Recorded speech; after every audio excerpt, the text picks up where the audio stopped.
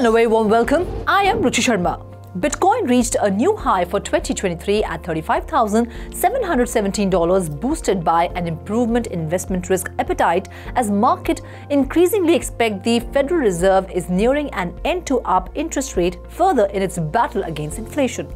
The largest cryptocurrency by market value, Bitcoin touched a 17 month high, scaling over 3% as traders continued to buy on a less hawkish tone than the market was expecting from the Federal Reserve. The total value of the crypto market rose over 2.75% at $1.3 trillion. IC15 index of top 15 cryptocurrencies was trading 43,756 points, up 3.1%. BTC was up 3% to trade at $35,300. Ether, the second largest cryptocurrency, was up by 2% to trade at $1,833. BTC achieved the highest level since May 2022, two days after it celebrated its 15th white paper anniversary, benefiting greatly from market expectations that a BTC spot ETF will soon be approved in the US markets. Applications from Grayscale, ARK Ventures, and most notably, world's number one asset manager BlackRock Incorporation are under consideration by the Securities and Exchange Commission. The SEC said last week it will not appeal a court ruling overturning the agency's initial rejection of Grayscale Investments' application to create a spot ETF for Bitcoin. On November 1, 2023, MicroStrategy, the business intelligence firm, announced its third quarter 2023 financial report showing an impressive paper gain of $900 million on a substantial holding of 158,400 bitcoins. Ether, the second largest crypto by market cap, was up by 2.2%. BNB was up by 3% to trade at $231.37. Solana SOL was up 10.23% and was trading at $43.63.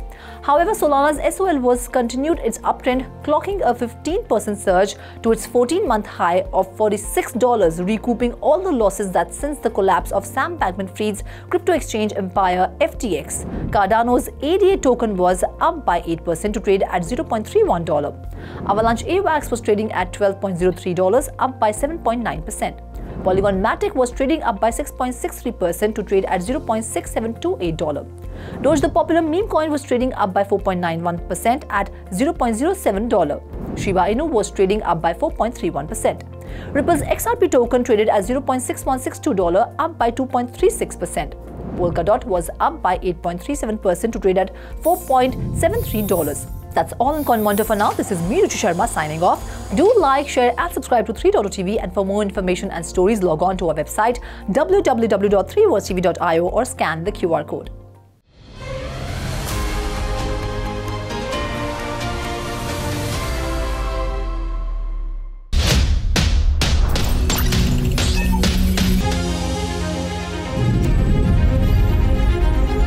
With 3.0 stay connected with the world of blockchain. Stay up to date with infinite world of NFTs. Come explore and evolve with 3.0 TV in the metaverse. So many coins, so much volatility. 3.0 TV delivers the news that matters.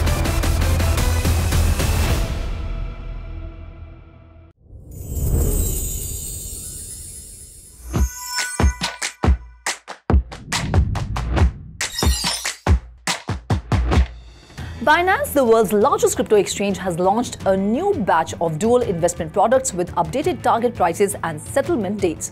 Users can sell high or buy crypto at low prices with updated target prices and settlement dates. The product include Bitcoin, Ethereum, XRP, Solana, Polygon, Cardano, and Dogecoin. Users can also sell ETH for BTC, BNB for BTC, or ETH, BTC for high rewards in the future. Additionally, users can deposit BTC for buying ETH or BNB, ETH for BNB, and USDT and BUSD for buying similar crypto. To subscribe, crypt, uh, customers can enable or disable the dual investment auto compound feature, which ch- changes in real time based on the market and locks after subscription. FTX and Alameda Research have transferred assets worth $27.2 million as of October 31st, including RNDR, SOL, ETH, MKR, REN, and GRT.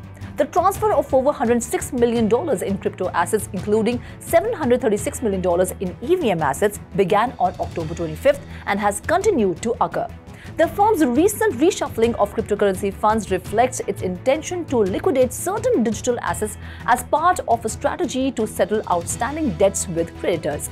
In 2022, Alameda covertly tapped into customer funds within FTX to repay all outstanding loans due by the summer of that year, avoiding suspicion. As of November 2022, Alameda's debt escalated to $10 billion due to its approach to repay creditors using FTX customer assets. Onyx Protocol, a decentralized peer-to-peer lending platform, lost $2.1 million due to an exploit of a market with no liquidity.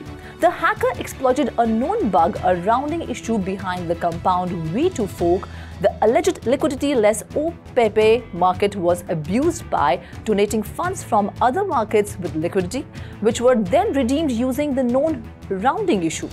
This follows a similar attack on 100 Finance on April 16th, where the attacker manipulated the exchange rate between ERC20 tokens and ETH tokens, allowing them to withdraw more tokens than originally deposited. To combat these hack attempts, blockchain analysis can be used, which involves six major steps transaction tracing, address clustering, behavioral analysis, pattern recognition, regulatory vigilance, and collaboration.